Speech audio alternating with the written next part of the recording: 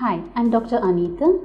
I'm an obstetrician, gynecologist, and an infertility specialist. I practice at Femiint Health, which is located in Whitefield.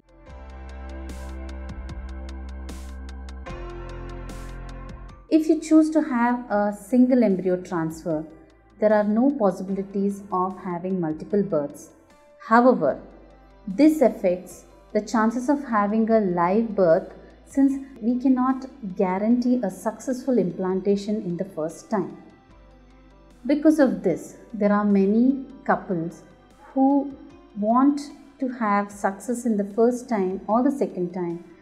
They choose to have multiple embryos transferred to the female uterus, which has resulted in multiple births, though knowing that there are risks involved in having multiple pregnancies.